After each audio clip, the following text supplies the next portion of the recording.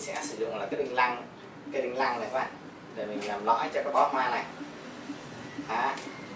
và à, có rất là nhiều cách để mà khi mà mình bó một bó hoa các bạn có thể là à, làm một cái lõi rồi xong sau đó là mình sẽ đưa hoa vào ha. À, còn ở đây á, là mình sẽ làm vừa làm đưa vừa đưa hoa vào và vừa đưa lá vào chung song song với nhau luôn. Ở đây nguyên liệu của mình à, sử dụng à, hoa hồng rồi điểm thêm à, bởi hoa phụ là hoa baby. Đó.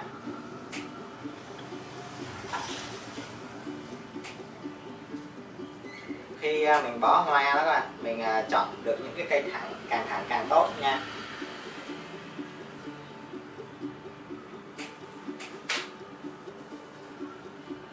Hoa hồng mình đang chọn là màu hồng hồng kem cồ kết hợp cùng với lại là hồng tím một cái màu rất là nhẹ nhàng.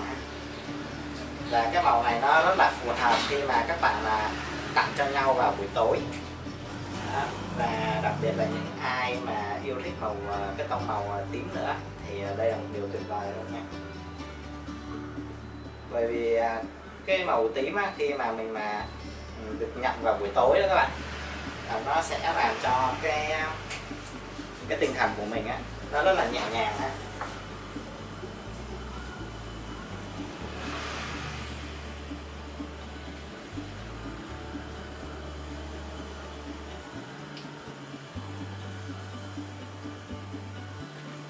Ở đây mình sử dụng hồng kem cồ nó nhiều hơn là hồng à, tím. Bởi vì mình không có một, muốn một cái bó hoa nó còn là một tím hết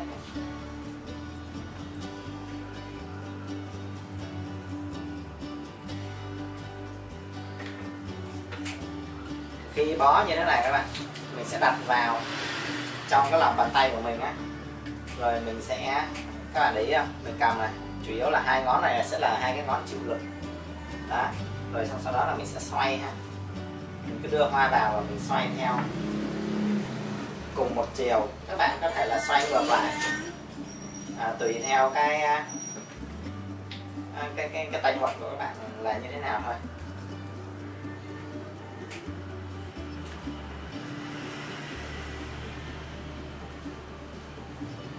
Đây là mình bó hoa mình đang bó theo kiểu tròn.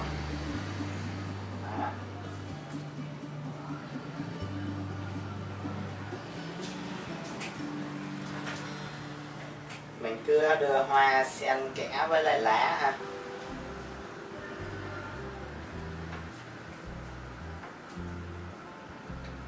Hoa baby á, thì mình sẽ chọn mình đưa vào cuối cùng.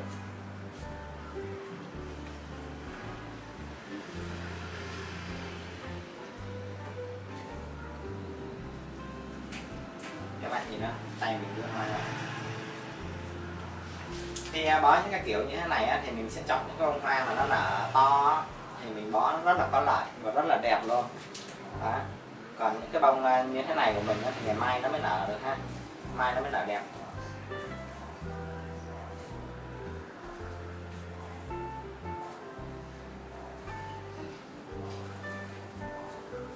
Ở đây mình cố tình là mình cho một vài cái lá đinh lăng nó, nó đưa lên nha các bạn đó còn nếu như mà ai mà không có thích cái lá đinh lăng nó đưa lên đó, mình có thể là đưa cái cây kéo vào. Rồi à, mình sẽ cắt cái lá nó đi.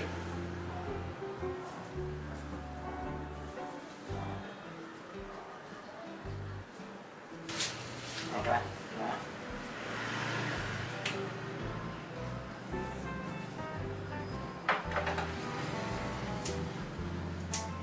mình sẽ cắt ngoài cái lá đinh lăng đi, bởi vì nó to quá.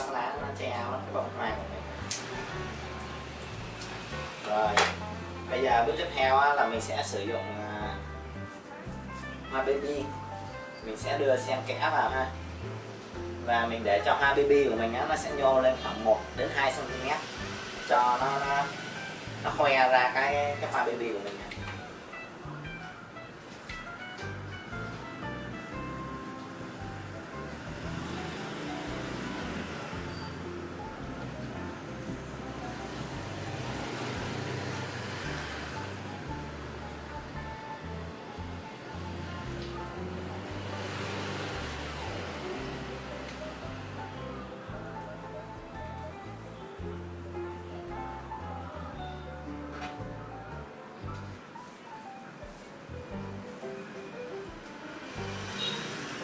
Đưa hoa vô là mình luôn đặt chéo cái góc nó lại với nhau. Các bạn có thể để ý bạn thấy.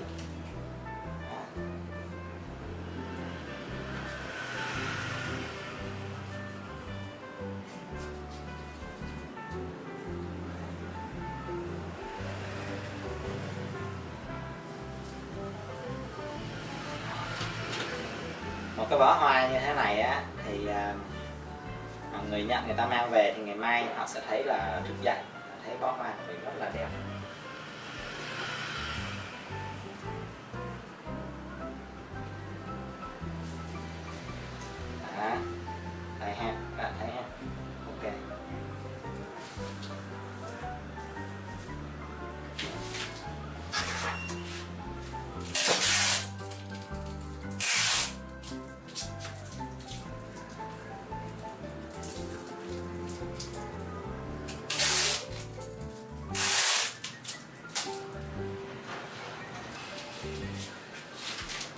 Mình sẽ dùng bông gòn mình quấn cái chân nó lại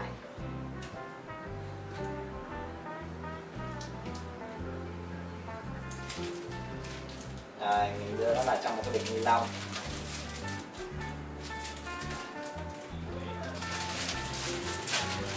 Đó. cái bịch ni lông này á, các bạn mà chưa biết mua á, các bạn đi ra mấy cái tiệm mà nó bán ha. bịch ni lông đó các bạn mình mua các loại bịch tròn ha mua bịch tròn loại một ký nó có nhiều loại một ký hai ký nửa ký theo như mình là mình sẽ bỏ à, các loại bịch tròn một ký là đẹp nhất. Tất nhiên là nó sẽ tùy.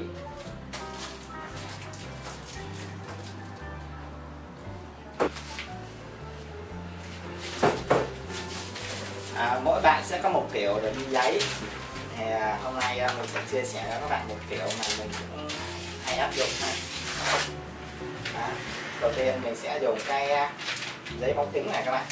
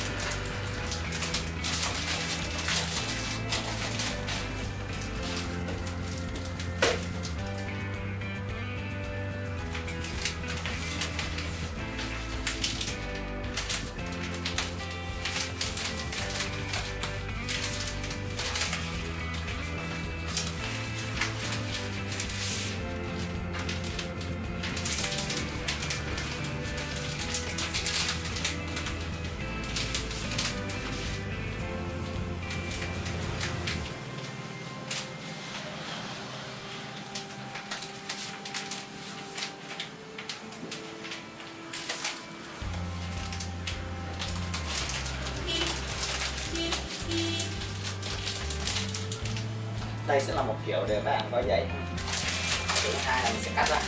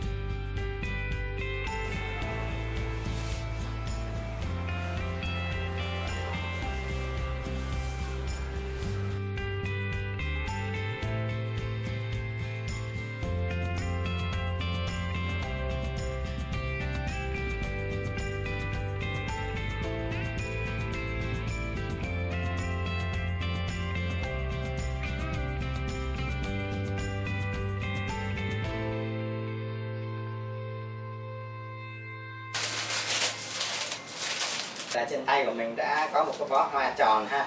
À, hoàn chỉnh rồi. Và bó này mình có thể mình dành tặng trong uh, chúc mừng sinh nhật hoặc là chúc, chúc mừng cho những người thân yêu trong gia đình của mình ha.